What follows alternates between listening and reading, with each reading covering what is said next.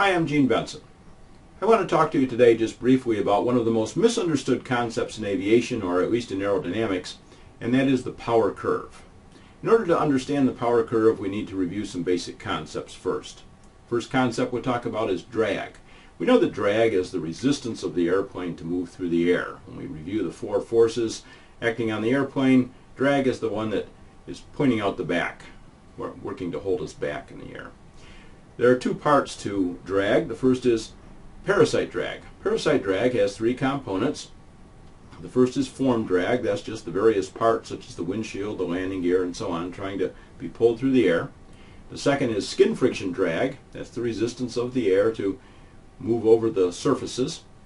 And the third is interference drag, and that's where parts come together, such as where a strut uh, strikes a wing surface. The three of those together make up parasite drag. Now, parasite drag increases with the square of the airspeed. So a little bit more airspeed results in considerably more uh, parasite drag.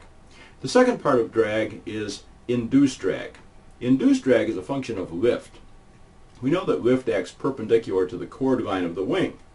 Well, when we're in level flight, that lift is acting upward and that's where we want it. But as we increase the angle of attack, such as when we go into slow flight, the chord line tilts up, therefore the lift vector starts to tilt aft. We have a rearward component of lift, which is actually drag, and that's uh, specifically induced drag. Now, total drag is the sum of the parasite drag plus the induced drag. Let's look at the concepts on a graph. The horizontal axis is the airspeed and the vertical axis is the drag.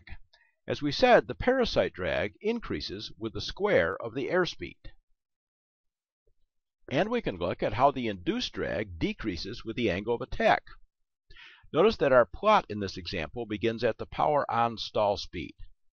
The best way to visualize this is the airplane is at full power and has just recovered from a power on stall at a high angle of attack. As we gain airspeed from the stall, we are lowering the nose and our angle of attack is decreasing. Along with the decreased angle of attack, we have a decrease in induced drag. Now if we superimpose the curves for parasite drag and induced drag on the same graph, we can see the total drag for any airspeed. Notice how the total drag is very high at the stall recovery, but decreases as the angle of attack decreases with our increase in airspeed. But just as we start to take advantage of the low induced drag as we near the cruising speed, the fact that the parasite drag increases with the square of the airspeed really becomes a major factor. The total drag starts to increase rapidly as we gain additional airspeed. Let's simplify our graph and just look at the total drag curve. We can then add a thrust available curve. This is for a fixed pitch propeller. The curve has its particular shape because of the difference in propeller efficiency at different airspeeds.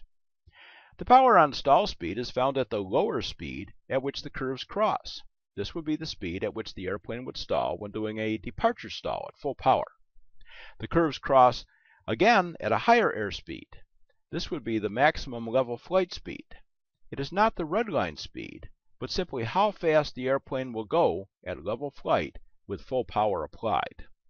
Technically, best rate of climb airspeed, or V sub y, occurs at the airspeed where maximum power is available, while best angle of climb airspeed, or V sub x, occurs at the airspeed where maximum thrust is available. There are actually some other variables such as the angle of the thrust line, but that is a bit too involved for our discussion today. We should note that the airplane climbs because of excess thrust. The greater the distance between the curves, the more excess thrust we have, and the greater the rate of climb. This explains why rate of climb decreases as altitude increases.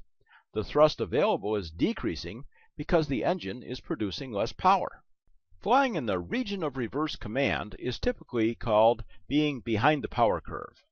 Behind the power curve simply means that more power is required to maintain level flight at slower airspeeds. Note the considerable difference between airspeeds for best angle and best rate of climb at low altitudes where the go-arounds occur. Here's a tip. For minimum altitude loss on a stall recovery, lower the nose to the horizon or just below and hold the attitude until the airplane accelerates to Vx. Then increase pitch to maintain Vx until all the obstacles are cleared. So you see, the power curve really isn't such a mystery after all. Please check out my website, genebenson.com, and join my mailing list if you haven't already done so. I promise not to fill your inbox. I'll send my monthly safety newsletter, Vectors for Safety, on the first of each month, and on occasion send an update of a notice of an upcoming webinar or safety event. You can also follow me on Twitter. I am at gene underscore Benson. Thanks for watching.